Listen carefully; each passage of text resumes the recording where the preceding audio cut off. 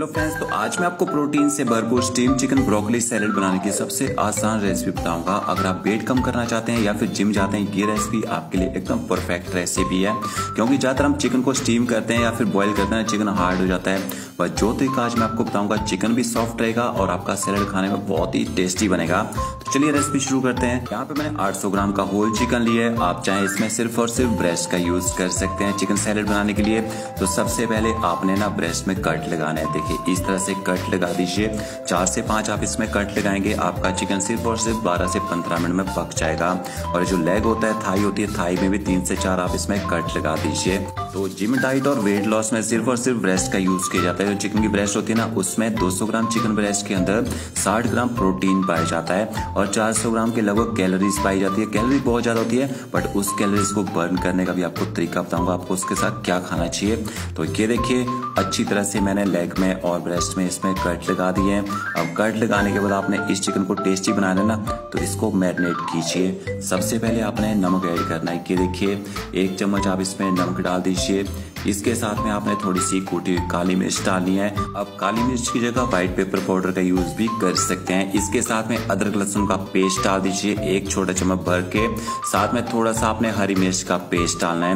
इसके बाद आपने चिकन को अच्छी तरह से मैरिनेट कर लेना है। जो हमने इसमें कट लगाए हैं, उनके अंदर तक आपने नमक मिर्ची को अच्छी तरह से भर देना है। ये जो हम चिकन की मैरिनेशन में अदरक लहसुन का पेस्ट ऐड करते हैं, इससे चिकन की जो स्मेल होती है ना, वो खत्म हो जाती है। देखिए, अच्छे से चिकन को मैरिनेट कर लिया कम से कम इसको आधे घंटे तक आप इसी मैरिनेशन के अंदर छोड़ दीजिए, ताकि नमक मिर्ची के जो टेस्ट है इसके अंदर तक जाए। आधे घंटे के बाद आपने चिकन को स्टीम करना है तो देखिए एक बर्तन में पानी को बॉईल कर लीजिए।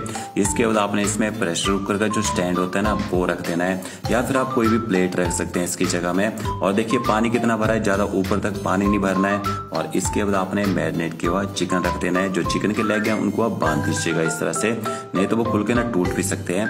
अब ऊपर से आपने इसको अच्छी तरह से कवर कर देना है, ताकि स्टीम बाहर करना है और एक बार जैसे पानी में बॉयल आ जाएगा, उसके बाद मीडियम फ्लेम में आपने इसको 12 से 15 मिनट तक पकने देना ये देखिए, आप देख सकते हैं, पानी उबलना यहाँ पे शुरू हो चुका है। इसके बाद आप गैस की फ्लेम ना मीडियम कर दीजिए। देखिए, गैस की फ्लेम भी दिखाई देता हूँ इतनी फ्लेम में आपने चिकन को स्टीम होने देना है। कम से कम 12 से 15 मिनट तक। इतनी देर में आपका चिकन अच्छी तरह से पक जाएगा, अच्छी तरह स्टीम हो जाएगा। और ये देखिए, यहाँ पे मैंने चिकन को 12 मिनट तक स्टीम किया है। क्योंकि चिकन छोटा है तो छोटा चिकन जल्दी पक जाता है। बड़ा चिकन हो तो उसको 15 मिनट भी लग सकते हैं। इसके बाद थोड़ा सा इसको ठंडा होना दीजिए और इसको निकाल के एक बॉल में रख देना है। जब आप इसको बॉल में रखेंगे, इसके ऊपर आपने थोड़ा सा ऑलिव ऑयल लगा देना है। इस तरह से, इससे क्या होगा, जो चिकन है ना, ऊपर से सूखेगा नहीं, उसमें मॉइस्चर बना रहेगा। और इसको ऊपर से अच्छी तरह से प्लेट से या फॉइल पेपर से कवर करके छोड़ दीजिए। तो जब तक हमारा चिकन ठंडा हो रहा है, तब तक हम और तैयारी कर लेते हैं। उसी पानी के ऊपर आपने थोड़ी सी ब्रोकली स्टीम करनी है। ब्रोकली के अंदर प्रोटीन तो होता होता है फाइबर होता है विटामिन भी पाए जाते हैं। तो ब्रोकली का यूज़ कर सकते हैं आप। इसके साथ में हम थोड़ी सी रेड और शिमला मिर्च ऐड करेंगे। रेड और शिमला मिर्च के अंदर कैलोरीज ज़ीरो होती है और कैलोरीज को जल्दी बर्न करने में हेल्प करती है। फाइबर विटामिन भरपूर होता है इसके अंदर। तो सिर्फ़ और सिर्फ़ तीन मिनट तक आपने सब्जियों को स्टीम करना है। तीन मिनट में आपकी सब्ज़ियाँ अच्छे से सॉफ्ट हो जाएँगी और इन सब्जियों को आपने पहले ना धो लेना है।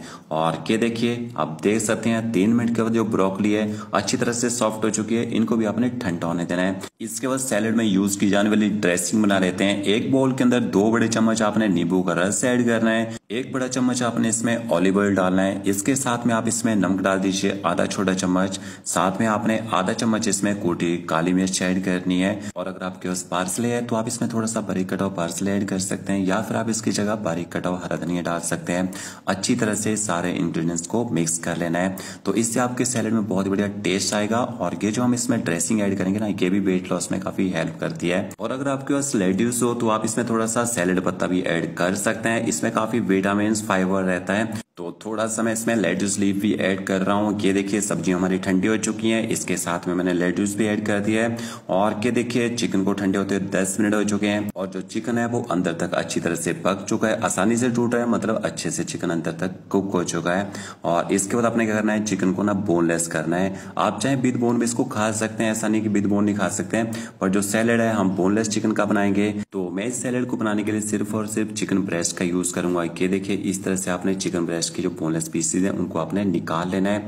निकालने के बाद आपने चिकन को ना वेजिटेबल के साथ अच्छी तरह से मिक्स कर लेना है और इसके छोटे छोटे पीस कर लेने हैं। अब मैंने इसमें चिकन थाई और लेग का यूज़ क्यों नहीं किया क्योंकि उसके अंदर ना फैट भी रहते हैं तो हमने चिकन ब्रेस्ट का ही यूज़ किया और अच्छी तरह से ड्रेसिंग को मिक्स कर लीजिए। और जो ड्रेसिंग है ना, सारी की सारी ड्रेसिंग आपने चिकन सैलेड के ऊपर डाल देनी है। अच्छी तरह से इसको मिक्स कर लेना है। नमक मिर्ची आप टेस्ट कर लीजिए, कुछ कम ज़्यादा लगे, आप ऐड कर सकते हैं। और इस चिकन को आप लंच में लीजिए डिनर में लीजिए, जब भी आप इसको यूज़ करना चाहें, कर सकते हैं। तो फ्रेंड्स अगर आपको यह मेरा वीडियो अच्छा लगेगा लाइक शेयर कमेंट ज़रूर कीजिएगा। Okay friends thank you